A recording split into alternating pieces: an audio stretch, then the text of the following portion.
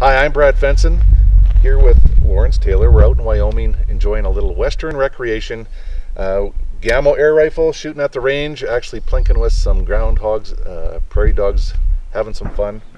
A lot of people don't know Gamo and Daisy are now together. They're one. That's right. We're Gamo and Daisy are both based out of Rogers, Arkansas. We have we doubled the size of the Daisy facility to accommodate uh, Gamo, and uh, it's really a great uh, it's a great uh, partnership because Daisy is really your first. That's that's how you get into the shooting sports with your Daisy Red Ryder and your Daisy Model 25, and then you can move on up, go through the Powerline Daisy multi-pump pneumatics, and then go to Gamos like break barrels Oh, and yeah. PCPs, which are adult precision air guns. So we can really take you from from start to finish. Absolutely, and I don't know many people that didn't start with a Daisy or have something like that on their Christmas wish list at one time or another. Mm-hmm. That's right. They do offer some interesting and unique programs a lot of people don't know about. Tell us about uh, the Daisy Nationals. The Daisy Nationals now in its 54th year. Wow.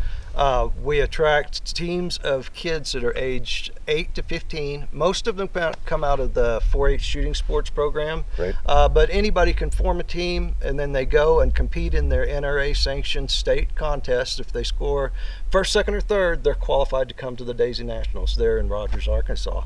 Um, we get we get anywhere from 55 to 75 teams a year that Wow. come in and compete, and we make it four days all about the kids. That's an awesome program, great introduction, great for urban settings, rural, whatever.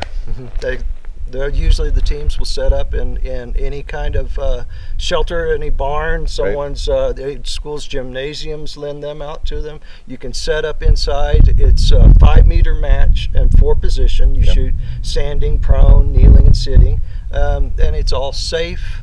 It's a safe environment for the kids, and it helps kids focus, give them responsibility. Right. These are fantastic Sounds like it. Learns all the year. disciplines the shooting, all the rest of it. Obviously, you can grow this program lots. How can people learn more about it or get their community involved? Well, you can go to daisy.com. That's pretty simple. Yeah. Check it out.